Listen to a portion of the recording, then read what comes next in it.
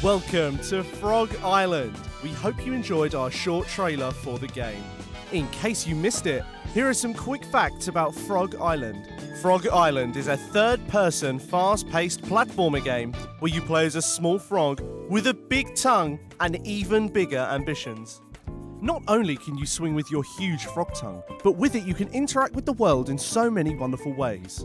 From throwing obstacles to pulling levers and even messing up that perfectly good bed of tulips. Explore eight unique island levels, all with their own themes.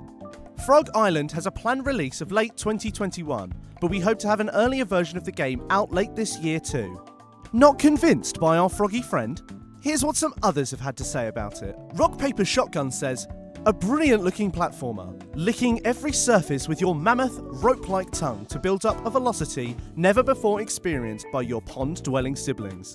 Wireframe magazine says, Frog Island centers the action on that core tongue concept, swinging about around levels like an amphibian bionic commando. The game is currently in an early alpha version, which you can download now at frogislandgame.com. You can check us out on Twitter at Frog Island Game or Facebook, facebook.com slash Frog Island Game to follow our progress.